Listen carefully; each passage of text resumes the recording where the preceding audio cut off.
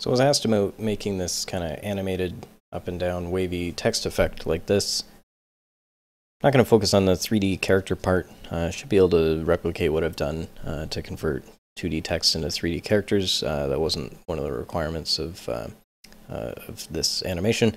So you can see it's kind of animating up and down. It's flowing uh, nicely like that. Um, each character is kind of animating by itself. So we can look at doing that in Adobe After Effects. Going to go up to the top and grab the horizontal type tool and start typing on the stage. So I'm just going to go sample text. And with how this is set up, it's a nice uh, big size. I've already set up uh, the size of the text. And uh, I've made a very large space in between the characters uh, just with this, uh, this tracking uh, slider here. You can kind of space the characters out nicely. Um, one thing is that it's very nice and easy if the, the characters line up vertically like this here. This N and this G are kind of right above and below each other. Um, so just to keep things simple, it, um, it'd be nice to, to animate um, uh, kind of vertically like that, or we could do a little more work and, and kind of uh, tweak all the characters so they, they look uh, nice by themselves. But I'm just going to widen out the, the text part of it just kind of make those characters line up a little nicer. It kind of lines up better with the T. That's pretty close, that T to the A there, something, something like that. I'm happy with that. Okay, so the first problem is uh, I go to transform this, and well, it's just going to move up and down all at the same time because it's obviously one text layer. So it's just going to move by itself. So uh, we can go in here, right click on our sample text layer, and um, create shapes from text. And what it's done is actually hid this layer that uh, I was previously working on, so I can get rid of that. I can even delete that. I don't need that anymore. Now we just have our, our text layer. So uh, in here, we can go into contents and you can now see, hey, look, here's an individual layer for each of our letters of our text. So that's pretty cool. Um, so we can start animating uh, and, and building that animation that we saw here. One of the things, uh, like I said, is the vertical columns are going to kind of animate together. So I can start by uh, grouping these together.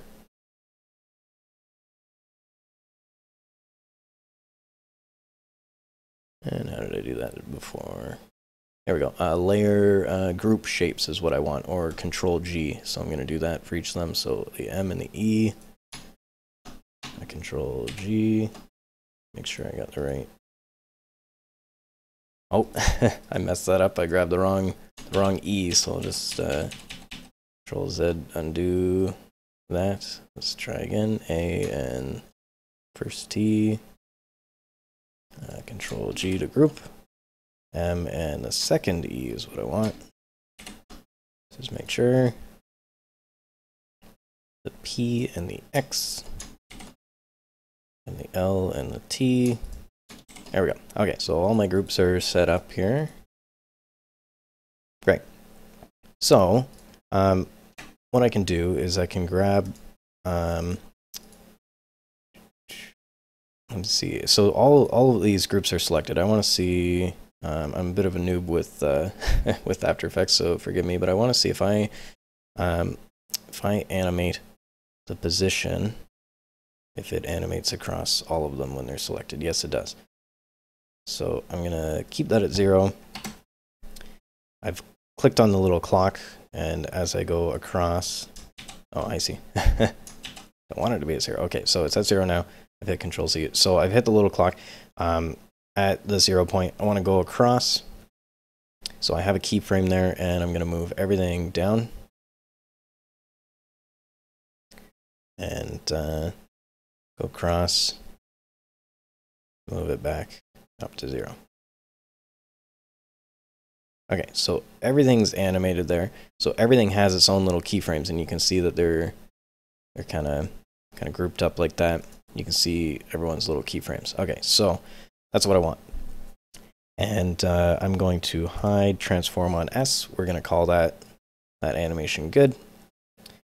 And uh, well, actually, what we want to do, so it's a little it's a little kind of janky right now because it's not um, it's not smoothing in and out.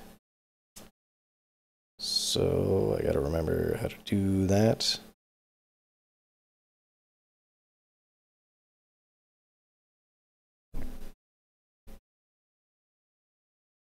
Anyway, someone with more more After Effects can remind me how to smooth in and out from these uh,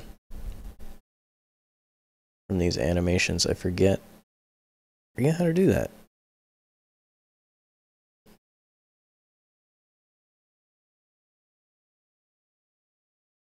Yeah, there we go. Okay.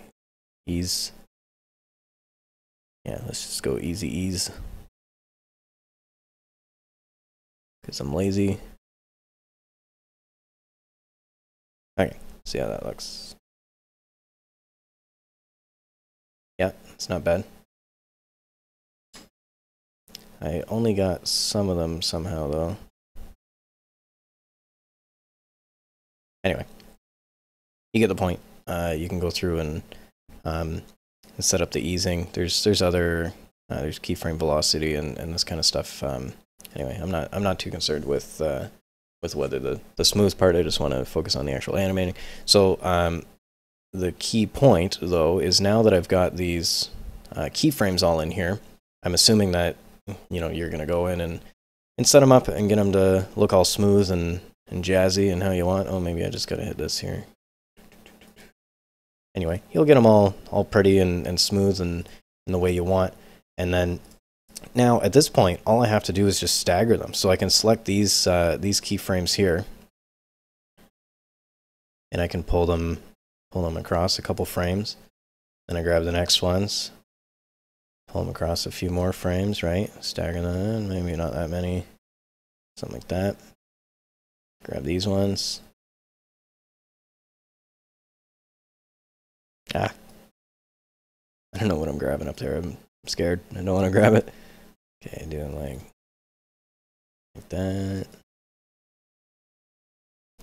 Like I say, I'm sure there's a much better way to do this, but um, point is we can just manually edit these keyframes a little bit and uh, should do do the business. So as we animate across now, something like that. And so all we have to do at this point to get the repeating effect is just copy all these keyframes.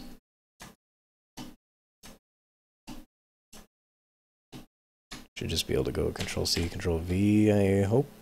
Nope. Hmm. Anyway, I'm sure there's a way to, to just copy these keyframes. Um, in any case, uh, if, yeah, I, I don't know, maybe I messed up, maybe you can't copy the keyframes.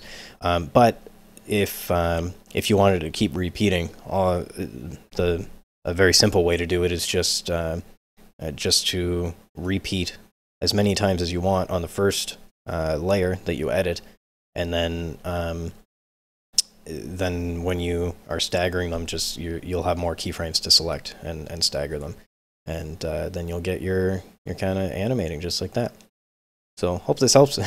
it's uh, it's kind of janky, but uh, I I think it uh, with with some time it, it could uh, look pretty good.